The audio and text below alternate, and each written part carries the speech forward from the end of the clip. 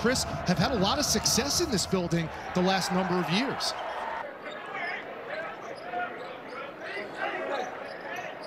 Here's Taz Sherman, leading scorer, 20 plus a game, and he's got the game's first bucket. Shoots a high shot. Williams with an answer for the Mountaineers. They thread the needle and get the two. And one opportunity for JB, Jalen Bridges.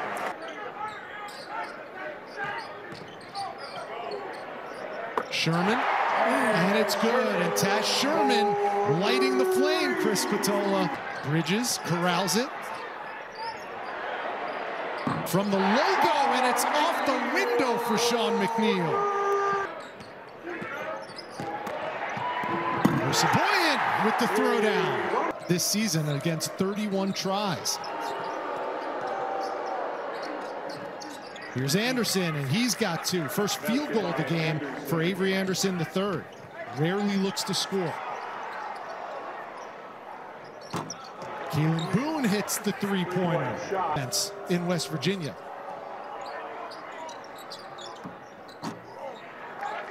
And Bryce Williams gets the bucket. He has seven.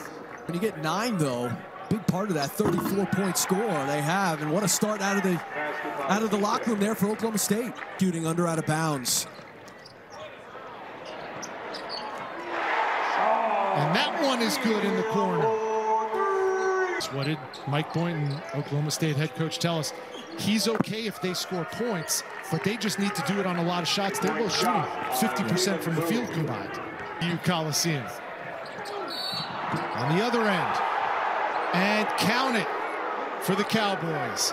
Back win against the Jazz. Yeah, he's starting to play a lot better. Sherman got it. Here come the Cowboys. All alone for three. Got it in the corner. It's been over six minutes since that bucket ends the drought. Heck of a guy.